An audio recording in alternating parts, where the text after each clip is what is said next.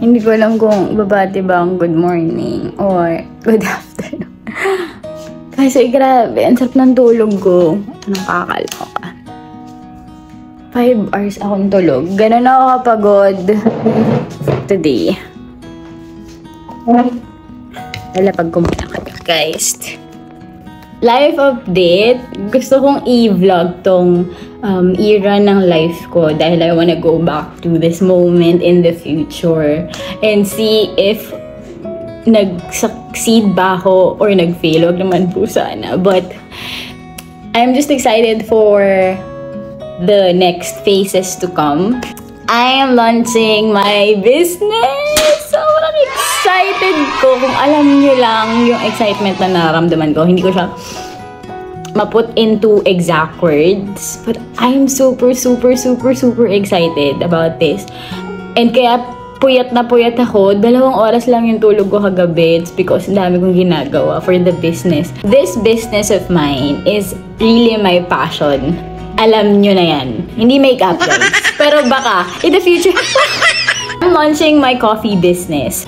I'm gonna launch um, a cart, a coffee cart for events, for bazaar for now. But in the future, I'm hoping that it's gonna turn out to be a cafe. Yun talaga yung long-term goal ko. Pero dahil sa budget constraint and time constraint, um, limit muna natin sa kaya ng pagkatao ko, oo, which is for events and bazaar muna. Kung friend ko kayo or kung kilala nyo ako, alam nyo yun, sobrang addict ko sa kape. Mawala na yung tubig, wag lang yung kape. Totoo yun, guys. Hindi ko kayang mawala yung kape. Kahit isang araw, I tried it. Tinry ko siyang i-fasting. Di ba, pag sa fasting, you sacrifice something na you, you love. And most of us, hindi natin kaya mawala is food. But for me, hindi ko kayang mawala yung kape. Kaya ko mawala yung coke. I've tried it. Kaya kong hindi mag-cook in a day. Pero yung kape, hindi ko talaga kaya. Ganun, ganun ko kamahal yung kape at ganun siya nakabind sa pagkatao ko. Feeling ko pag dinextrose nyo ako, kape yung lalabas. Anyway, I'm launching my business. Hopefully in January, yun yung target ko na launching date. And symbolic siya for me because yung first part nitong year, it's it's one of the worst seasons. It's one of the worst seasons in my life. Hindi one of the worst. It, it's really the worst year of my life. The year started with a breakup. May nangyari pa sa, sa family. Act, prior to breakup, nawalan pa ako ng isang client na ang laki ng sweldo na yon na parang nasa two-thirds ng sweldo ko yon And sobrang devastated ko kasi last year, ba't ako naiiyak? Time yak sis, matapang tayo. Charis. Anyway, so, maikling kwento lang. Nung 2023, last quarter of 2023, so nag-budget ako, 'di ba? Ako yung ako yung taong nakaplano yung buong taon ng expenses ko. Meron talaga akong monthly expenses para lang malaman kung ano ba tong year na to, um makakapag-ipon ba tayo, meron ba tayong goals, financial goals, alam mo yun, so may mga binabayaran din ako, so kailangan ko talagang i-manage yung expenses ko. And living alone, lalaman nyo na kung magkano expenses ko, minimum expenses for me to live alone here in Manila. Ang gastos talaga. So, nakaplano yung budget ko. So, last year, last quarter of last year, nakita ko na yung 2024 ko na finances. And sobrang saya ko kasi finally, I get to save for my business. Sobrang tagal ko na talagang gustong mag-business. Two years ago ko pang gustong mag-business pero I don't have the luxury of time and the money to do it. And then God blessed me with with an extra client last year. So, kaya siya ng finances ko. So, pinlot ko yung 2024 ko na finances na ito yung may ipon ko considering my my my income. Sobrang excited ko last year na mag-ipon for this business. Tapos, naiyak ako guys. Tapos December last year, nawala yung client ko na yun. As in, very abrupt siya. Bakit mainit dito sa kwarto? I'll be back. Going back, kumalma tayo, Ziz. Huwag tayong umiyak. Wah! Last year, December of last year, nawala yung client na yun. So, imagine mo kung gaano ka broken-hearted ako. Kasi pinlano ko yung 2024 for, for the business. Sobrang excited ko na eh. Alam mo yun, na-foresee ko na ito na yun, Lord! Tapos nawala yung nawala yung client ko na yun. Tapos hindi ko alam, eh two-thirds yun ang salary ko. So kung matitira na lang one-third. So paano Lord? Paano ko yun gagawin? Sabi ko gusto ko pa ng ganitong business. Tapos na, nag, nagbabayad ako ng sarili kong expenses. Ayoko naman maging pabigat sa, sa iba, sa pamilya ko, sa magulang. So, hindi ko na talaga alam. December yon Nung nag-January, ibang heartbreak naman. So, ang lala talaga ng first quarter ko this year. This year really is really the worst year of my life. I, I, I underwent a breakup. And then I had to leave my spiritual home. We can do it! Matatapos tong vlog na to. I had to tra transfer somewhere, to start over, reset, revive my faith, my spirit, So, fast forward na natin, no? Ang, ang lala talaga ng, ng taon na to. Ng first part ng taon na to. So, after the breakup and me living the my spiritual home I was praying to the Lord. Kasi hindi ko talaga alam paano ba matatawid ang mga expenses natin on on this, 'di ba? Na living tayo alone. Tapos girl, paano one third na lang yung salary?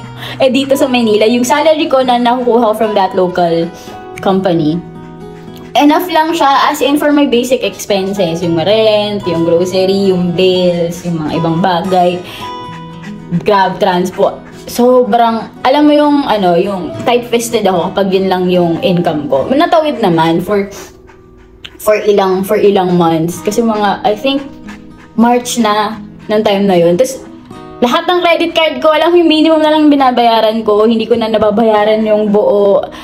Ang lala talaga. Feeling ko, I was so alone this year. Na even God Himself left me. So, if yung load ko talaga, yung, yung seeking ko from the Lord, sobrang. This is the worst year of my life, but also, it's the best year with the Lord because this has been my closest moment with Him. Sabi ko, vlog to, hindi MMK. Zzzz! Ang ganda-ganda ng bati mo kanina. Ba't umiiyak tayo? But anyway, so ayun na nga. I prayed to the Lord na, Lord, I can't, I can't ask help from my family kasi ang dami din nalang pinagdadaanan this season na I can't share in the vlog. So, ayoko na maging pabigat. At hindi ko na talaga alam kung paano ba ako mabubuhay. Literal. Paano ba ako mabubuhay for the next few months? Kasi ang galing, alam mo yun, God really knows when to answer you. And at hindi lang yun overnight prayer ah. Ang tagal, ang tagal ko inantay yung, yung sagot na yun. Tapos ang dami ko ding rejections na, na-receive because ever since December pa lang, nung 2023, nag-ask nga kay God ng, ng kapa, kapalit ng word na yun, ng kapalit ng work na yun. Tapos, may mga nakukuha naman ako agad. That's the beauty of being a VA. Mabilis ka na makakuha ng client. So, nakakuha ako agad. Nag-interview ako, nag-assessment ako, nag-final interview na ako with the bosses. Tapos sobrang positive ng yung feedback. Alam mo yung sobrang gustong-gusto ka nila. Tapos biglang, for some weird reason, parang galit sa akin yung universe talaga, na biglang magbaback out. Tatlong clients daw ah. Tatlong clients. So, tatlong rejection yung na-experience ko. Nag-back out sila lahat because biglang nagbago ng direction yung company, biglang nagbago yung isip niya, parang ipopost niya muna yung hiring. Parang, ano pang heartbreak yung darating sa akin this year? ano pa talaga? Feeling ko sobrang wasak ako nung first part ng year. I felt like I lost everything. I lost myself, I lost finances, I lost my faith, I lost spiritual family, I lost friends, I lost loved ones. So, ang dami ko talagang losses sa start ng taon come April. And second quarter na. Woo! Thank you, Lord, because you are the Lord of the seasons talaga. So, sa, come second quarter, God blessed me with a new client. And the good thing about it, mas malaki yung compensation niya dun sa nawala ako na work. Tapos, ano, tapos sobrang bait ng boss, sobrang flexible ng hours, though night shift siya. Come April, nagbawi ako ng mga debts kasi ang dami ko talagang credit card debts nung time na yun. Kahit nga sa mga kapatid ko, may, may utang ako, ganong level. Mahal talaga mamuhay dito sa Maynila alone. So, hindi talaga siya kaya ng expenses ko. So, ang dami ko talagang utang nung time na. So, nagbeda ko ng utang nung second quarter. And I was able to pay naman. Thank you, Lord, for that. Tapos, third quarter, hala, okay na. Gagaya, so, nag, nag, ayun na naman. Alam mo, pagbubuksan ko yung, yung, yung Excel sheet ko for for my finances for next year na parang may, may trauma na ako na hmm, paplat na naman ako Lord tapos biglang hindi na naman. Then, dumating na ang September. Gusto ko lang sabihin sa kung sino mang naglilista ng mga warriors for this year. Pakitanggal naman po ako sa listahan. Parang nyo naman naawa. Kidding aside, come September, ito namang natira kong work, di ba yung one-third ng salary ko last year, yung natira kong local client. Biglang kinausap ng boss. Ile-lay off na daw nila ako Though, nararamdaman ko yun kasi medyo nagkakaroon ng financial crisis din yung company. January pa lang. Tapos si my boss really tried to keep me in my position. Nilaban niya talaga ako, pero hindi na kaya talaga din. So, kinausap na nila ako that ililay off na nila ako. But, but, babayaran nila yung every year of every year ko with a one month salary. So, medyo malaki yung makukuha ko. So, ako medyo ano na naman ba? Heartbreak na naman ba to, Lord? Going back. So, nung na-receive ko yung news na yon, syempre nalungkot ako, no? Pero hindi ganun ka ka-shaken yung pakila, pakiramdam ko. Pero yun nga, inisip ko na naman, lo, ano yung business? Paano yung ano, delay, madidelay na naman siya, Lord? Ano ba to? Alam mo yung pakiramdam na you're fighting for it, tinatry mong maging hopeful, maging faithful, but parang lag, yung universe against sa'yo. ganong, ganong pakiramdam. Pero I felt peace from the Lord na I got you, my child. I will not leave you nor, nor forsake you, even if the world has left you, even if everyone leaves you. I will not leave you nor forsake you. So yun talaga yung pinanghawakan ko kay God. I felt peace from the Lord. Tapos, yung inisip ko na lang na, sige, this season, baka talagang gusto kong pagpahingahin ni God. So, talagang nagpahinga ako. Doon, syempre, naghanap ako ng, ng new client, no? Naghanap ako ng new work. Tinake ko na lang tong season na to as a rest from the Lord. Tapos, alam mo yung may urge sa akin si God na make use of what you have. Kahit maliit yan, make use of it. Just do it. Take the risk. Kung kilala nyo ko, hindi talaga ako risk taker. Kaya hirap na hirap ako mag-start up ng business. Kaya ang laki nung gusto kong i-save for the business. Kasi hindi ako risk, risk, hindi ako risk taker. Dapat yung bawat galaw ko is kalkulado siya.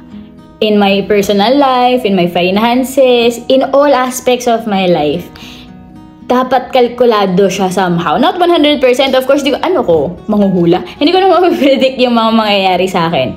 But at least, I get to see the two sides of the spectrum. Alam mo yun, yung pag na ito yung nangyari, dapat ito yung gagawin ko. Pag ito yung nangyari, dapat. May ganun akong mga ano, thinking strategy. Wah. Pero nga, alam mo, pinamukha din sa akin ni, ni God this year. Many are the plans in a man's heart, but it's the will of the Lord that prevails. And ang galing, alam mo yung talagang pinush ako ni God, sige na, magsimula ka na. Pag di ka pa nagsimula ngayon, di mo talaga yan masisimulan. Just make use of whatever you have. I'll bless it. So, bahala ka na, Lord, ah. So, nag-start na ako. Tapos, edi nag-research na ako, ano yung mga dapat kong gawin. Nilista ko na yung mga tasks to do ko for this coffee business. Ang prayer ko talaga kay God is that He will surround me with the right connection, with the right people, yung tulungan niya ako in every decision kasi at the moment feeling ko hindi ko mapagkatiwalaan yung sarili ko sa mga decisions. Feeling ko kasi magfe-fail ako. Feeling ko nagfe-fail na naman ako. Feeling ko failure naman na, failure naman talaga ako. But the Lord has been faithful and He really has been my strength in times of my weakness. Minsan kailangan mo lang talaga mag-obey and then you leave the rest to the Lord. So, nag-training ako sa isang friend kasi yung friend ko na yun, um, they own a cafe, mag-asawa sila. And nag-start lang sila with a very, very maliit na uh, konyo. Ang baba lang ng puhunan nila, parang 5,000 nga daw. They started that coffee business with just cold brew. And alam mo, yung templan nung barista na yon, mas gusto ko pa siya kaysa dun sa isa sa malalaking coffee shop dito sa Pilipinas. Tapos, ayun nga, sabi ko sa kanya, Uy, sis, yung, yung wife naman yung kausap ko. Sabi ko, sis, pwede ba tayong mag-date, ganyan-ganyan. Kasi gusto ko sanang, uh, anto, magpatulong sa business, paano mag-umpisa, bla bla bla, kasi maliit nga lang yung puhunan na meron ako. Tapos, yun nga na, na, na chat, na kwento niya na, oh, kami nga 5k lang ay, buti nga may ganyan kang amount. So, i-go mo na yan, sis. Alam mo, lumakas naman yung loob ko. Tapos, habi ko nga, magte-training nga ako ng, ano, ng barista and how to open um, a cafe. Sobrang hesitant kung nandun ako sa click na enroll now. Hindi ko talaga maklik-click yung enroll kasi hindi talaga ako nagte-take ng risk, girl. Tapos yun nga din nakausap ko yung si Sis. Sabi niya, oy, nag-offer kami ng training, ganyan, ganyan. Tapos ako parang, oh, sige, game ako dyan. Kasi ito, sold out ako. Na, alam ko yung skill nito, alam ko yung timpla niya ng kape. Pareho kami ng, ng taste sa kape. So, sabi ko, go ako mag-training. So, ayun na nga, nag-barista training ako sa kanila. I'm so, so, so happy and grateful sa mag-asawa na yun. Kung nanonood sila, manasan, salamat po. Ayan. And they get to help me unlimited sa mga, pag may mga questions ako sa operations, pag may mga question ako sa machines, anong machine yung bibilin ko. As in, yung may nakakausap ako, that's also one of my prayer eh, di ba? That the Lord will surround me with the right connection. So, eto, at least nang may makakausap ko about the business, may pwede akong pagtanungan, may pwede akong paglabasan ng rant. ang galing lang, ang galing lang ng timing ni God. And so, I'm launching my coffee business by January.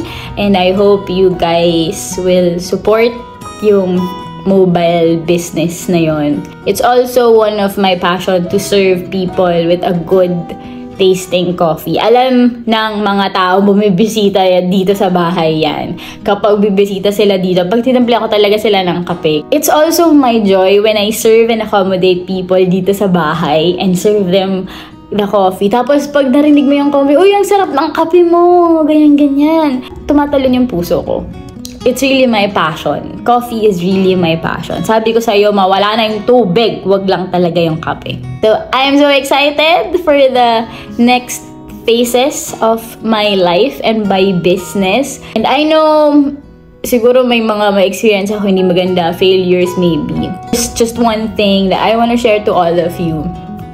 Na you will never really be ready for a failure. You will never really be ready for a heartache. You will never really be ready for a surprise or an attack. But you will be strong enough to face them, especially when the Lord is with you. So, kung papanoorin mo man to self, gusto ko lang sabihin sa'yo na keep the faith, Be strong in the Lord, and you have a Father in heaven that you can truly rely on. Documenting this era of my life because I want to go back to this moment in the future when my faith and my life is shaken again. That I get to be grateful and bless the Lord still. So, ayun, alam ko mahaba na tong vlog, but thank you for um, staying with me, for watching this, and I hope, I hope, I hope you will support my business kapag na-launch na siya. Thank you so much for watching, and I'll see you again on my next vlog. Bye!